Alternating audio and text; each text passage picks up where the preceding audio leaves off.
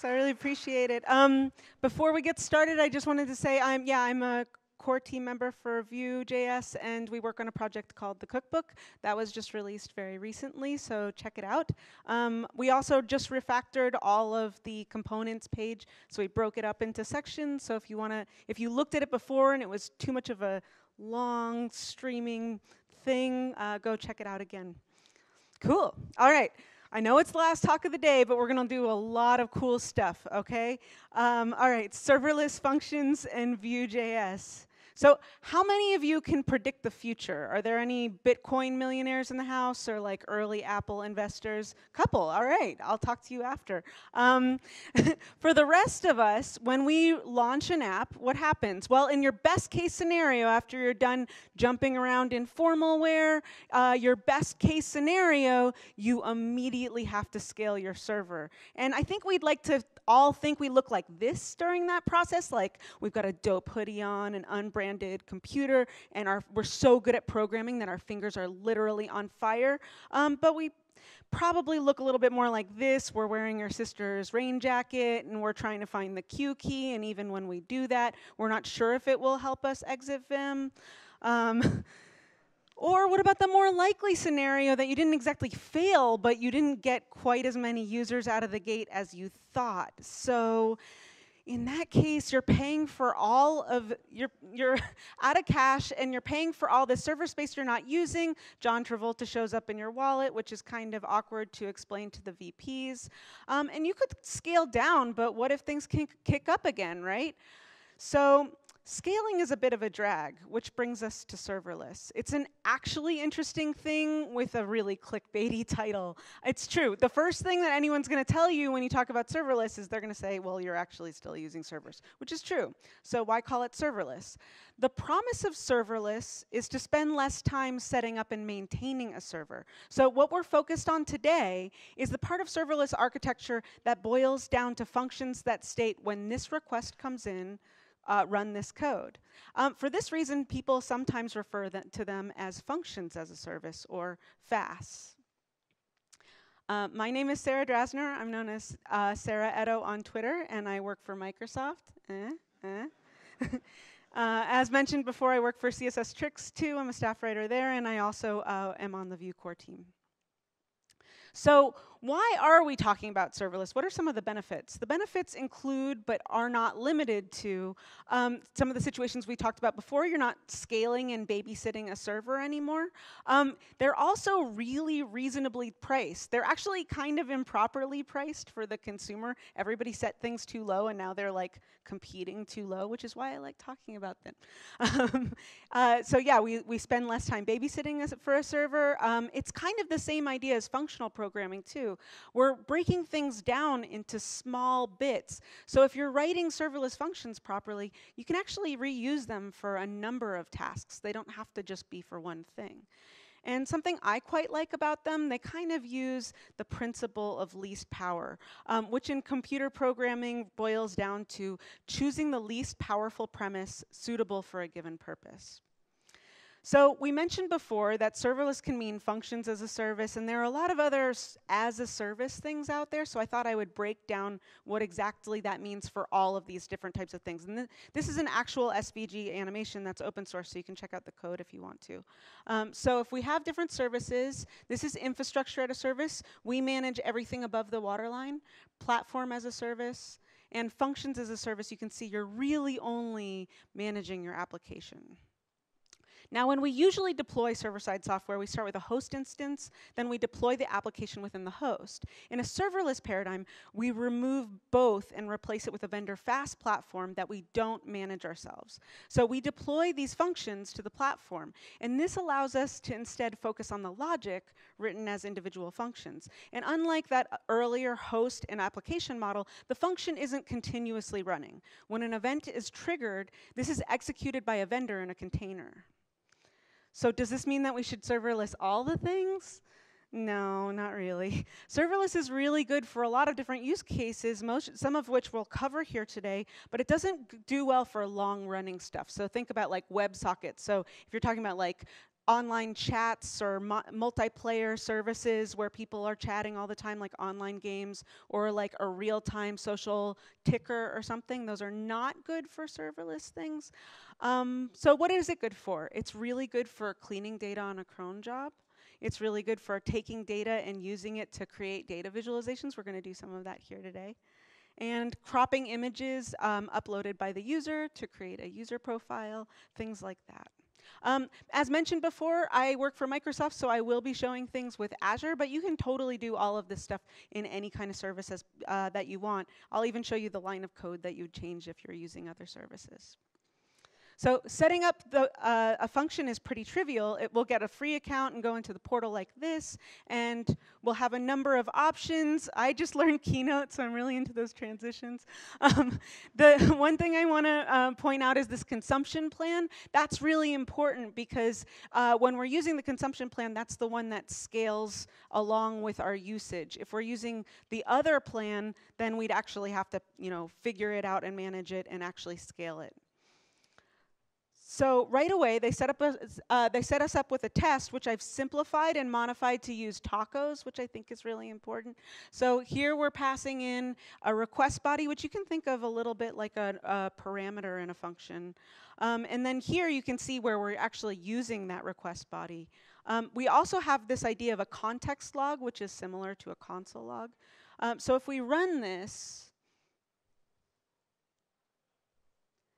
You can see everything update, and over here we've got hello delicious tacos, which we, you would probably would assu assume we'd get.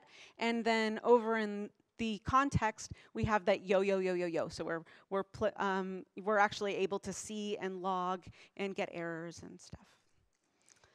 So uh, now you know how to set up a function. It's just like functions you already know and love, except they're executed on a server. Um, so let's put this no knowledge to some use and a nice kind of somewhat common use, and let's do Vue, Stripe, and serverless to set up an e-commerce site. So here's a sample Vue application that I made. There comes a time in any young app's life when it has to monetize, and there's a lot of ways of monetizing, but certainly accepting money is a good way of making that really direct. Um, so we're going to look at this apl application I built and all of the steps that it took to make it, and then by the end of this next like 10 minutes, you'll know how to set this all up. So since we don't have time to go through every piece of the application, I'm giving you a bird's eye view of the structure so you can see how it's all set up. I'm using Nuxt, which you just saw a presentation for, and Vuex. Um, so you can see our store over here, we're gonna communicate with Stripe and also our serverless function. Um, anything in this pages directory is like a .vue component, but it will actually turn into a page like you saw um, uh, one of the Chopin brothers showing you earlier today. So eventually all of this will talk to our serverless function and that will communicate with Stripe on the server. So let's do the lowest hanging fruit first, which will be the Stripe. Um, and we can set it up with just a few clicks. So you create your account, and once you confirm your email, you go to the sidebar, and in the dashboard, you'll click API, and this will show you your testing keys, and they're all set up for you. So when you visit the Stripe documentation, they'll give you this code that uh, wants you to execute on the server with the use of Express. You can see how we would use this to create a customer, and then we pass in the Stripe charges, the amount, and some details. But we're already executing on the server, so where we, we're going, we don't need Express. So how about that? All right, so what we'll do to make this work, um, we're just gonna go through a few different chunks. We'll add in our Stripe testing key, and then we'll use that module.exports uh, to kick off a, a serverless function in Azure. If you're using other services, that's the line of code that you'd change. So here we're still creating the customer with their email and token, and then we're passing in the amount and details. And then we'll finish everything up, provide some error logs. You'll note I log a lot. That's so that if anything goes wrong, I know how to track it down. And now when we execute our function in the test panel, uh, yeah. when we execute our function in the test panel, we'll pass in what we're eventually going to get from the client. So a testing token, an email, and some base charge. And you can see all of those context logs printing out and showing how our function did. And it was a success. If we go back to the Stripe portal, you can see that the function went through and we're already starting to log some testing Stripe customers. So one piece that I'm not going to show here today, um, but you can check out from this CSS Tricks article, is how to host this all on GitHub if you don't want to use the portal. Um, that's pretty easy to do. Uh, that post will show you how. So now we've got one side done. We have to connect things to our serverless function and our app. So first we'll talk about that Vuex store and that cart.vue page. So that Vuex store and our cart.vue page. All of our products are in a big manifest object in our Vuex store. We're storing what's in the cart as well as the cart total. So you can see here as I add items, our Vuex store updates. So again, Vuex is a little bit like Redux, and these, uh, this is the Vue dev tools if you haven't seen them before. So here's the shape of what we're going to build on that cart.vue page. First, if there are empty items in the cart, we'll add them to our checkout component. Then if the cart is empty, we'll give them the ability to get back to the main page and add some items. And finally, if there's a success, we'll let people know it's being processed and we'll add a success component. So let's look at that first code block. If we have items in our cart, we'll show a cart that kind of reminds them of what they're purchasing. So a thumbnail, a quantity, and its price. And if you don't know what those uh, kind of pipes with the US dollar, those are filters in Vue. I'm basically formatting currency.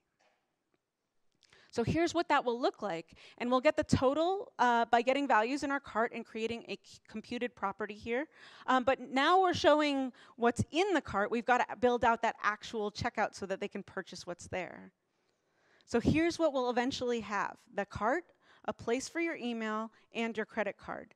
And the easiest possible way to add Stripe to your page is a component called Vue Stripe Checkout. I've linked up the re repo here. It's literally a button that you throw on the page and a Stripe modal appears. It's easy as pie to implement. But if you notice on our site, we actually had a checkout form that was embedded in the page and styled along with the rest of our page. For that kind of customization, we'll use a thing called Stripe Elements. They're a little bit more work to implement, not so much, uh, but they allow you the freedom of handling the form yourself and making it fully integrated with your site. So this version, uh, Vue Stripe Elements Plus, is the one that I found that works the best, so you can install it either with NPM or Yarn. And now that we're going over that cart.vue page, we're also going to integrate a checkout.vue component. This is where we're going to use those Stripe elements. Out of the box, here's what we get. The component has a few defaults. A couple of notable things here. You can see that those XXXXX is where we're going to put our Stripe testing key. And there's a at click pay, which we'll call a pay method. That's a pretty important part of this. So we'll keep that in mind as we go forward. In the script in the same component, we have some imports. You can see at the bottom here that pay method. So create token returns a promise which resolves in an object with a token or error key. Now to configure it for our needs, we're going to have to store some data properties, including whether it was submitted, whether it was completed, the status, and the success. We'll also need to gather a bit of information from our cart.vue component, which is the parent. We'll need the total as well as the success. And then when someone clicks that button, remember we, we talked about that pay method. So we're going to use Axios here, and we're going to talk to our serverless function with that Axios call. And we're going to send everything that we need. We're going to send the form, our token, our email, and the total.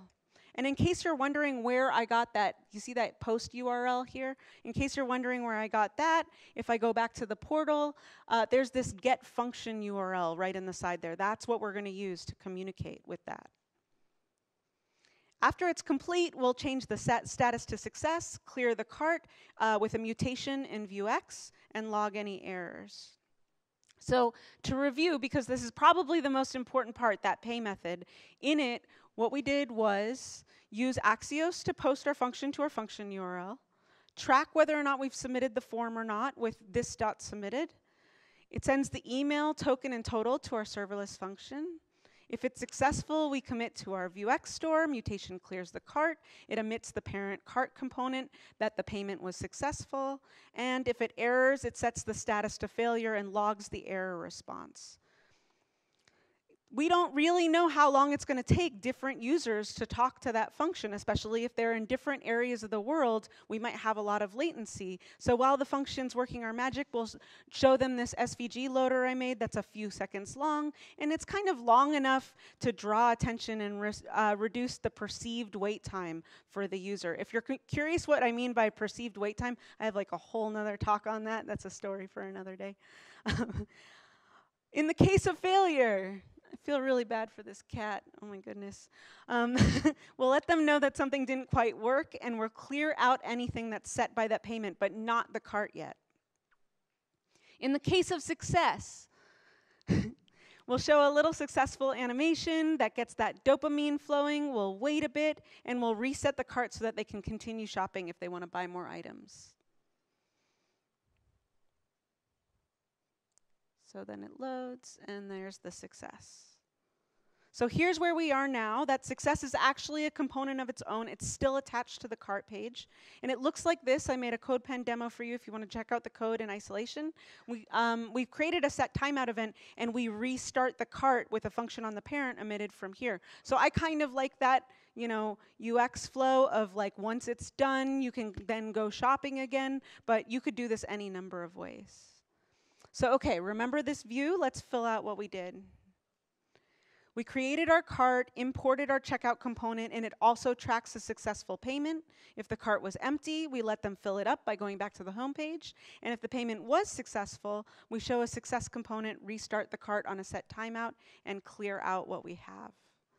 All right, you did it. Party. All right, that wasn't so hard. You did an entire checkout component and process with serverless functions and Stripe and Vue in like, you know, 10 minutes. Awesome. Um, all of this code is open source, the function and all of the application. If you're making a real life application, there's probably a couple steps that you need to do also with like testing. Um, uh, but, you know, this is pretty much there. So uh, go check out the code and have a party. Cool. Okay, we have about 10 minutes left. We're going to keep it really short and sweet for this one. Um, in the time that we have left, I mentioned that you can use a function to fetch data for a beautiful front-end visualization powered by Vue, so let's check that out. Um, so as I mentioned before, I work as, for Microsoft as a developer advocate, and people often ask where my team is speaking and when. So I made this demo using Three.js, serverless function, a library, in Vue, so that people can explore where we're going. Here I'm executing a serverless function to gather geolocation data for that globe based on where we're speaking and the frequency of the location. So every time I commit to master in GitHub and that Vuex store changes, then it will go and fetch that geolocation data for me because I'm super lazy and I don't want to go fill out those fields by myself. um, so here's what we start with. We start with this big JSON blob that I basically got because I asked my coworkers to fill out an Excel spreadsheet of where we are and where we're going. So I download that to JSON and I all of a sudden have my Vuex store. But I don't have the latitude and longitude, which is I, what I need to make that globe. So the cool part is you already know how to make a serverless function. Um, they, already, uh, they already have a default for a GitHub webhook in the Azure portal. So we're going to use this to kick everything off. So here we're going to retrieve geolocation, geo information for each item in the original data, and not shown here will error if it doesn't go well. And given an array of entries wrapped in an iterator, we'll walk through each one of them and populate the latitude and longitude using the Google Maps API. And notice we'll also cache locations to try to save some API calls. And after this, we'll check the cache and see if we've already looked up the location as well, which isn't shown here. So now you can see our function at work. It's taking all of the locations in our GitHub file, and you can see it's updating all of them, and it's updating it directly in our Vuex store. So we don't have to go back and forth or anything. It's going to execute and fire and clean up all that data immediately. And the nice thing about this is since it's all on the server, uh, we know that we, we're not fetching all of this information on the client and making our app really slow. So anytime we commit to master, this is what happens. All of a sudden, all of these entries get populated with latitude and longitude. Then here, remember how we were uh, filtering that table as we typed, we're going to use a computed property for them. So if you're not familiar with Vue already, computed properties are really important to understand because they're really powerful. They're calculations that will be uh, cached based on their dependencies and only updated when needed. So they're ex extremely performant when used well. Computed properties aren't like methods, even though they kind of look like methods. They're actually used more like data. So you can kind of consider them a new view into your data. So if you notice, I called that filtered data right here. Now we're going to display the table using filtered data. So you can see in that T-body, uh, TR, v-for, post I, and filtered data. So filtered data is what we're using, and that will become our computed property that's filtered on every keystroke. So here you can see it in action. We select a conference, and you can see how fast that all updates. I'm not using a library for that or anything. I'm just using a computed property to filter all of those entries. And as you might have noticed in that globe, we need a pin for each latitude and longitude, but that's not all we're doing. We have to make it longer for repeat instances. So we'll check if the location exists. If it does, we'll increment it. If not, we'll create new values for them. And we use the data in this format to feed into our globe visualization. So to work with Three.js, we have to mount it into the DOM on a single element. Um, the code to create the globe is kind of large, so I actually use a mixin and split it into different parts so I can bring in pieces of it. Another thing to note, if you do start working with Three.js is, I found if I load the texture and mount it and then pass it in an, into a parameter when I call it, it actually runs a little bit faster. So that's just a note to be wary of. And not that you'd want to do this, but because Vue and Three.js play so nicely together, we can update the appearance of this globe in one line of code and change it from a sphere to an icosahedron or what have you. So we can create myriad projects with Vue and Three.js, and the world of data visualization is totally our oyster.